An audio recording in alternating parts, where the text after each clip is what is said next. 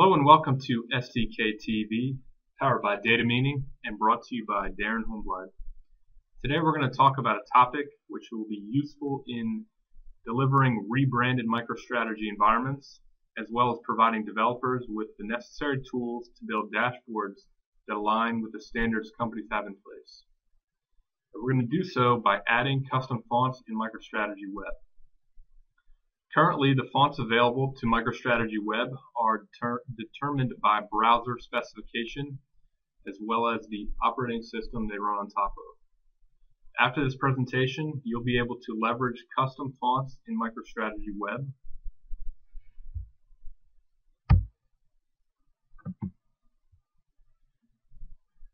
Custom fonts can be added in MicroStrategy Web through the use of the Web SDK once they are added properly, new fonts will be available from Web Preferences and in MicroStrategy dashboards and reports. Fonts are applied to HTML through the use of CSS by leveraging font face and font family.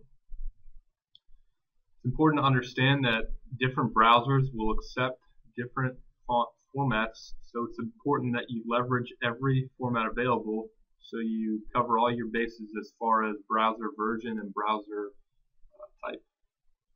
It's also important to consider that your web application server may be may need additional configuration in order to serve some of these custom font formats. Specifically, I know that IIS requires custom settings to allow the font files to be downloaded properly. As I said, adding custom fonts in MicroStrategy leverage a font face as well as a font family. You can see here we use a font face block as an example and once we do so fonts are applied in MicroStrategy and it defines a font family which is then later available to be applied with with preferences in MicroStrategy preferences as well as on the dashboards and reports. Font face is supported in IE9, Firefox, Opera, Chrome, and Safari. So essentially all major browsers that were produced after uh, 2009. With font face, web developers no longer need to adhere to any of the web-safe fonts. They can instead include custom fonts which are downloaded from the web server and then consumed by the browser on the client side. Uh, you can also see this link at the bottom of this PowerPoint for some additional information on custom fonts. And these PowerPoints are always updated to my GitHub account so you can download them there.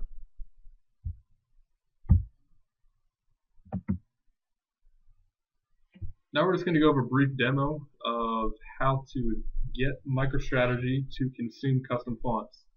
This is a fairly straightforward topic and we're really just going to need to create one plugin and utilize a XML file for the font names picker. This will configure MicroStrategy to render the custom fonts in the preferences when you navigate to them through MicroStrategy Web and we're also going to need to place custom fonts within the plugin so they can be downloaded to the client.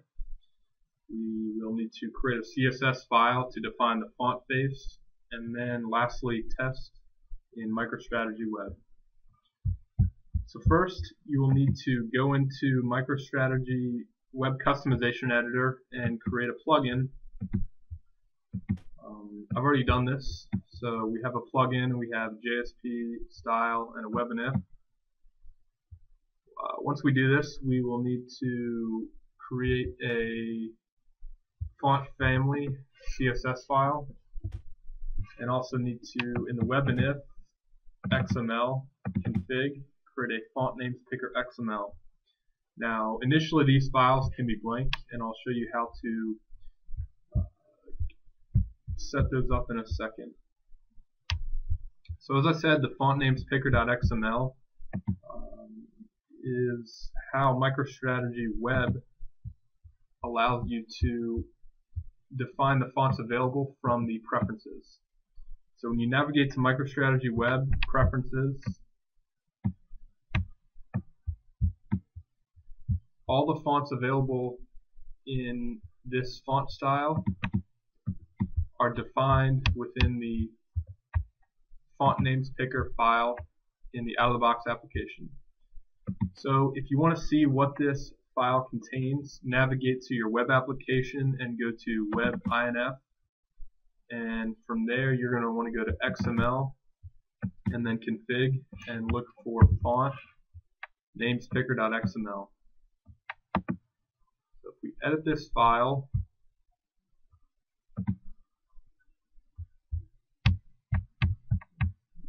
edit this file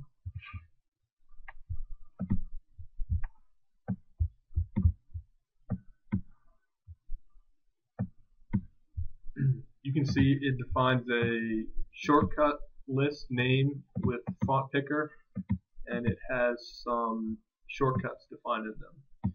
Now if you look at the content of these shortcut blocks you'll notice that they correspond to the different line items that are available in the font list in the MicroStrategy preferences. So here we have shortcut description Arial Black. You know that's a pretty well-known font and you can see under there you have the attribute name style with a value of font family Arial Black. So if you know a little bit of CSS, you'll know that the font family is how you apply fonts in CSS. And so this is how MicroStrategy Web allows you to define fonts.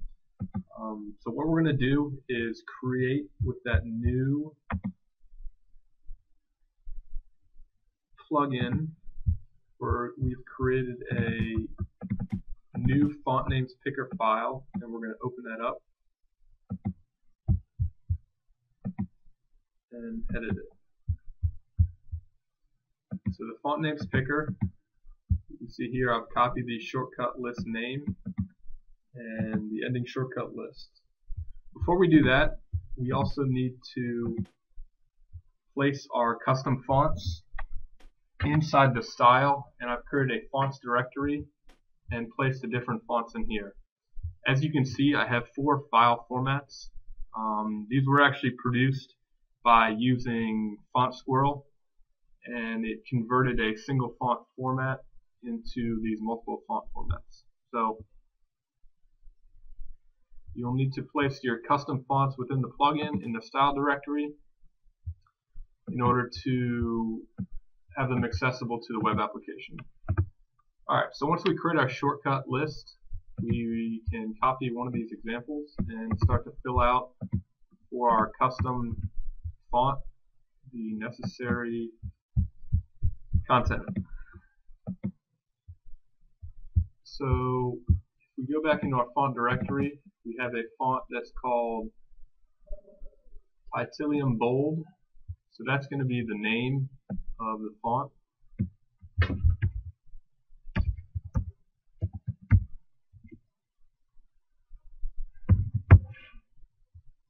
And we're also going to want a feature ID.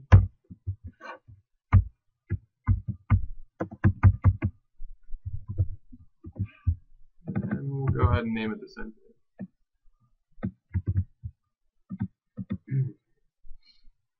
Now, the style and the font family, we're going to change from Arial Black to our custom font, Titillium Bold. And the value, we're also going to change to our custom font, Titillium Bold. So now we've created a font names picker for our custom font. So if we save this, our custom font would be available to the preferences in MicroStrategy if we restart our server but we're not going to do that yet. First, we're going to use our font family CSS file to define a custom font face. So if you saw in the PowerPoint, this is the demo, you know, font face block. So we kind of just need to build off of that So our font face, if you remember, we defined that in our font names picker. We defined our font family name.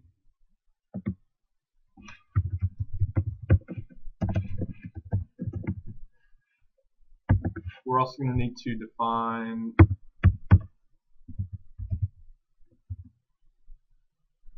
and these are going to need to be relative path to our font directory and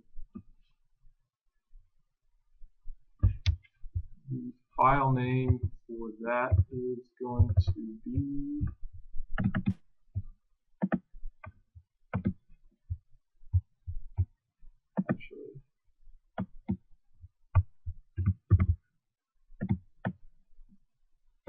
So this is now a single font format that we have added to our font face. We also need to add some additional formats and I'm actually just going to copy and paste those from another demo that I have. So this is what it will look like when you have all the different formats added and sometimes the order is important depending on the browser you're using. So I like to use this specific order. I feel like it works uh, the best. So once you've added each of the file formats, you can see that we have EOT, SVG, TTF, and WOFF. Um, we have all, each one of those, and we have, I believe, EOT twice, and it just has a different format um, that's to fix a issue in IE. So once we have the font family CSS file configured, now we will be able to utilize this font family from MicroStrategy Web. So if we go back into our font names picker, you can see that we've defined font family, Titillium bold, and that's the font family that we have within the font face. So now I'm going to go ahead and restart the MicroStrategy web server. give me a second for that.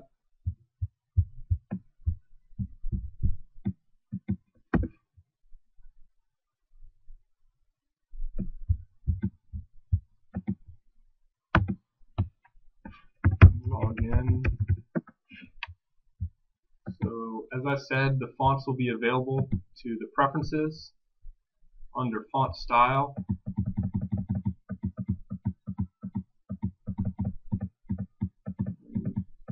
Your custom font will be all the way at the bottom under wingdings.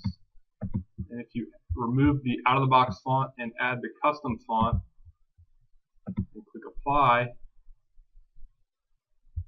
you can see that the custom font is now used you bring up your Chrome Developer Tools and hover over these elements, you will see inside the CSS, our font family is now Titillium Bold.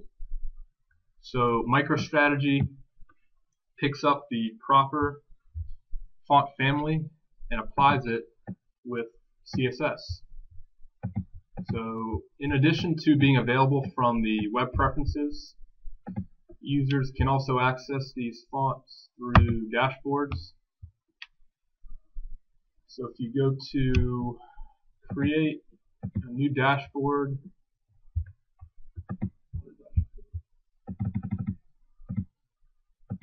if you go to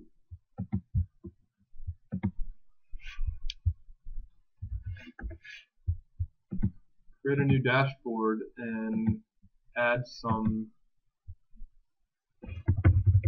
some text or a grid you will see options to adding the custom font within the preferences in the dashboard. So we create a blank dashboard and insert some text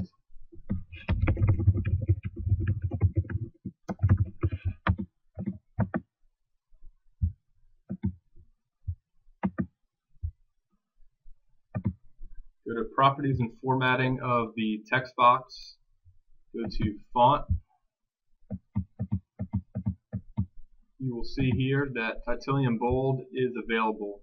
So we're going to go ahead and select it and you can see that we are now using Titanium Bold as opposed to the out-of-the-box Arial and if you view that element with the Chrome Developer Tools, you'll see Font Family Titanium Bold.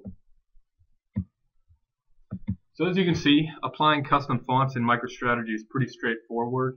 Uh, you'll just need to create a custom font picker, font names picker, and a font family CSS, and make that CSS file available to your MicroStrategy web application. Uh, you can do that in a number of different ways. You can either add a link to that on the default page in the web mstrweb.jsp or ASP um, or you can include this font face in custom MicroStrategy CSS files that will be applied to all pages. For example the global CSS um, I just like to include it in a custom CSS file. So it easily you know encapsulates my code. Um, as I said, this PowerPoint will be made available to you and I will update my GitHub to include the plugin directory that will include the font names picker and the CSS and a custom font sample that you can play around with. Uh, feel free to post on the video if you have any questions or um, you know pull my GitHub code and make some changes and re-upload it. Thank you and have a nice day.